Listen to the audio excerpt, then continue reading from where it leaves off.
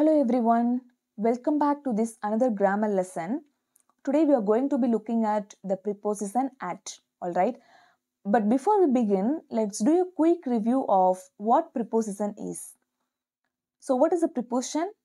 Preposition is nothing but it is a connecting word as it connects a noun or a pronoun in a sentence. Its main function would be it gives information about time, place, and direction. Alright, let's now talk about the preposition at now. Basically, at can be used to talk about specific place or location. Let's say that when someone asks you, Where are you? your response would be like, I am at the coffee shop or I am at the bus stop. On the other hand, you just keep it in mind. If you are asked, Where do you live? your response would be like, I live in India. Here you use the preposition in to talk about something in general. Alright. Let me repeat when you are referring to a specific or particular location, at can be used. That's the rule number one that you should keep it in mind. Alright. If someone asks you, Where are you? your answer would be like, I am at home. Or you could be at work, at the bus stop, at the coffee shop, at the entrance, um, at the exit, at the library, at the hospital, at the beach, or at the supermarket, at the corner, at the Eiffel Tower, at the hotel, at the restaurant, at the office. Have a look at the example sentence again. I am at home. So you could be at home, but you are in the room. That also you should keep it in mind. Remember, when you are speaking about enclosed space or closed area, you could use in. Do watch that previous video. I'll give the link in the description box as well.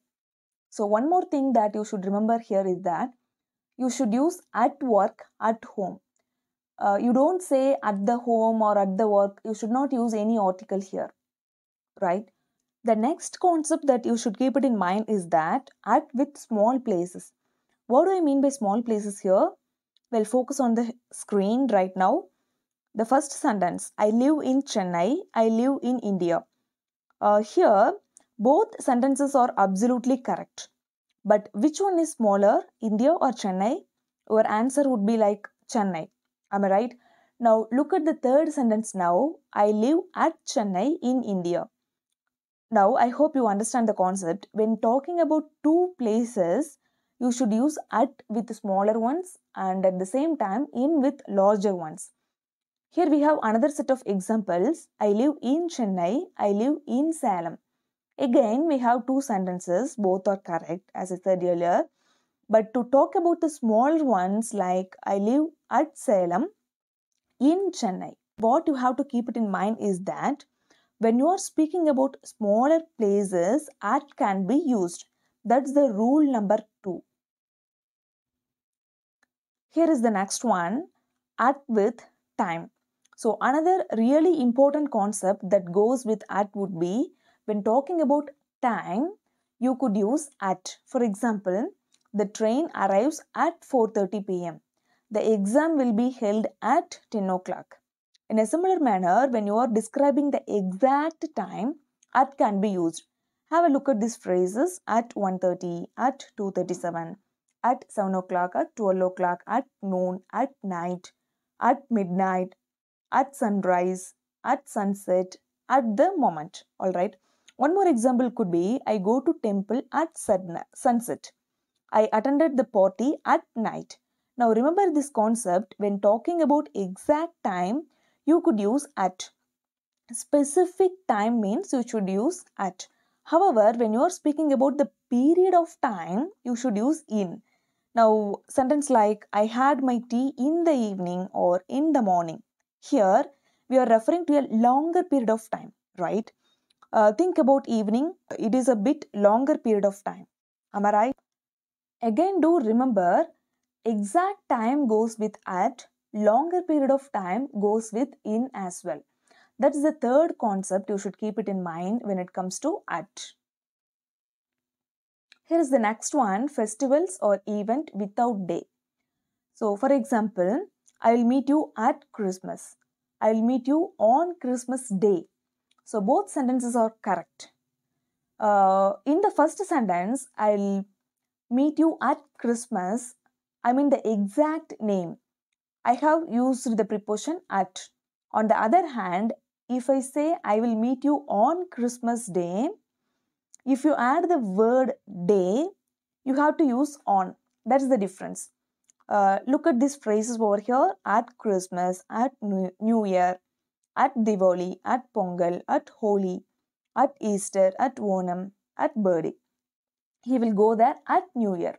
So remember, before festivals or events, you should use at. I eat sweets in the Diwali holiday. On Diwali holiday, my friends will come to my place. I'll be back at Diwali. So in the first sentence, I eat sweets in the Diwali holiday. I have used the preposition in because we have the word holiday. When talking about holiday, you should use in. In the second sentence, on Diwali day, my friends will come to my place. We have the word day. So, while referring to a day, we should use on. In the third sentence, I'll be back at Diwali. I have used the word, uh, I mean, preposition at before an event or festival. So, remember, in goes with holidays, on goes with days, at goes with the name of a festival. That's the fourth concept that you should keep it in mind when it comes to at. So here at means during the festival of. The next concept that goes with at would be group activity. Now at can be used when you are talking about group activity. Look at the screen.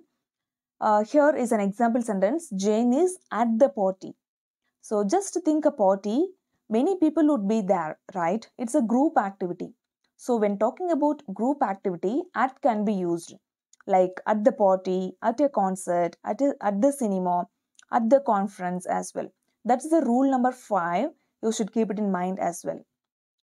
Then the next important concept that you should always remember is that when you are speaking about educational institution, you could use at. Here is an example sentence. Robert studied at Oxford University. Here we have the word at before the name of an institution. Am I right? I mean the educational institution. Like at school, at the university, at Harvard University, at Oxford University. So pay attention to this. At goes with educational institution also. So that's the sixth concept that you should keep it in mind. Here is the next one. At goes with exact address. Look at the first sentence. I live on Gandhi Street. I live on Nehru Street. Hmm, both are correct. In these sentences, we have the preposition on before streets, right? But look at the next examples. I live at 31 Gandhi Street. I live at 312 Nehru Street. Here we have the preposition at before number. Yeah, that's the concept. If you want to give someone the exact address specifically with number, you must use at. Remember, with number, you should use at. Without number, you should use on. That's the rule number 7. Here is the next one. At goes with describing directions also. Then the last concept uh, with at would be when talking about directions, at can be used. For example, the kid is smiling at me. That means the kid is smiling towards the direction of me. Here, at means towards the direction of. That's the next concept. One more example would be the teacher is shouting at the students. That means the teacher is shouting towards the direction of the students. So at can be used when you are describing directions as well. So that's it for today's lesson. Let's do a quick review of what we have learned as of now. So what's the rule number one? At with specific place. And rule number two, at with small places. And the next rule would be at with exact time. And what is the fourth one? At with name of a festival. That means during the festival of. And what is the fifth rule that we have? At with group activity. And the sixth rule would be at with educational institution.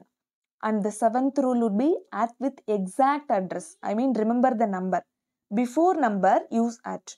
And what is the next one? At with direction. At can also mean towards the direction of. For example, the ball comes at me. That means the ball comes towards the direction of me. Alright, so that's it for today's lesson. I am sure you find this lesson useful. Let me come up with another informative video. Until then, stay motivated as well. Thank you.